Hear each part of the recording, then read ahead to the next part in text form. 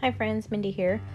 I am working today in uh, my Walk This Way devotional from By the Well for God. I'm going to be working on day three, and I thought I would um, take you along for how I work through this process.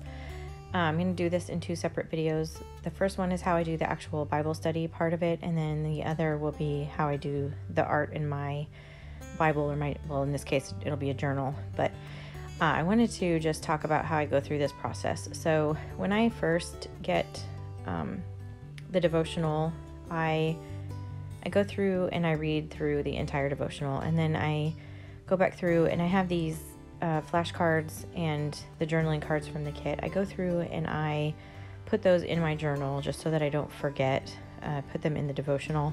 That way, when I'm doing my artwork, I, I remember that I have them. Otherwise, I forget or I, or I miss them or I wish I would have used it anyway.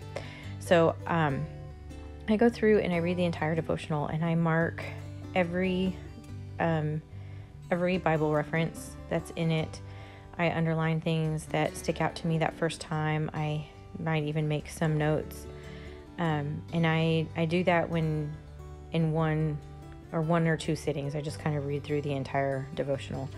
And then when I go back, I um, I go through it again. I'm showing here um, an encyclopedia of Bible people, just because I, have this reference, and I'm because we're focusing on people and mentorship and things in this devotional.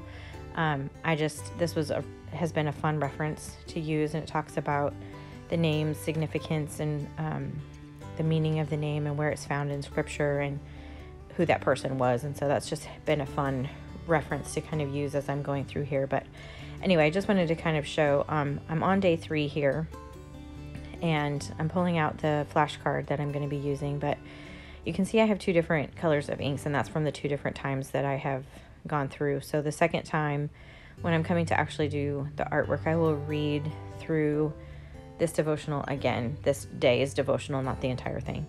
And I make note of the references. I read the um, every one of the scriptures, even the ones that are are written out in the devotional. I read them. I read them in context with the verses around them. I read them in a in a uh, translation. I personally use King James version.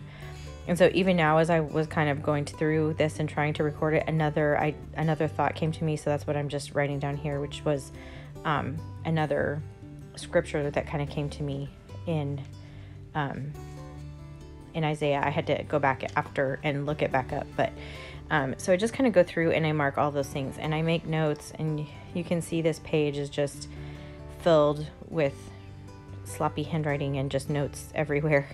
Um, and that's just kind of my approach to it. And I I'll go through and I look up all of the different scriptures. This particular one is um, talk, the title is "Fresh Air and Cool Water." It's talking about refreshing, and um, I love some of the imagery in it. It's talking about one of the things in the devotional talks about the King James Dictionary definition of um, refreshing is to revive what is drooping as rain refreshes the plants. And it made me actually think of my mother in law. Um, I am not a plant person, but my mother in law is. And we came into church one night, and here in Georgia, it's really hot. And this was a year or so ago, but we came into church, it was really hot, and the plants in the foyer were just, I mean, they were drooping. They were just hanging over the edge. Literally, some of the leaves were down, you know, scraping the ground. And she went and she got some water and she watered them.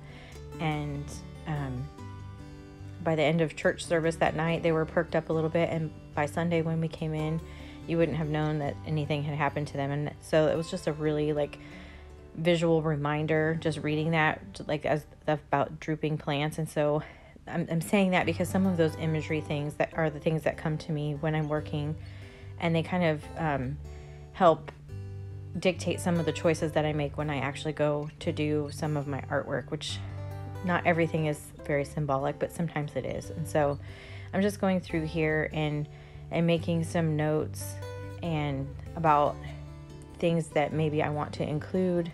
I have another little um, little notes that I'm making things that I may want to include when I do the artwork, points that I want to remember, just different things. I'm just really try to get as much out of these devotionals as I can, making sure, like I said, to read everything in context. I want to include, like this quote really stuck out with me. Um, so I'll probably include part of that in the artwork.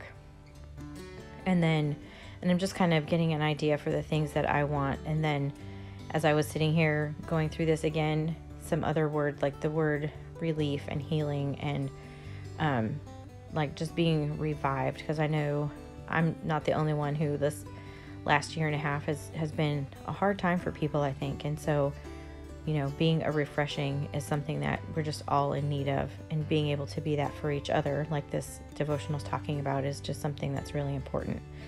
So anyway I just kind of wanted to share kind of the heart behind what I do with my artwork and then I'll post the artwork um, process later but I just wanted to kind of share how I work through this in case um, that can give you some ideas. I've seen people ask questions in Facebook groups, and I've had people message me and different things. And so this is just my approach. Like it, again, it's not the only approach. It's not necessarily the right approach. It's just how I do it. So I thought I would share that today. I hope that's helpful to you. If you have any questions, feel free to comment below. Like this video and subscribe to my channel if you haven't already. And until next time, bye bye.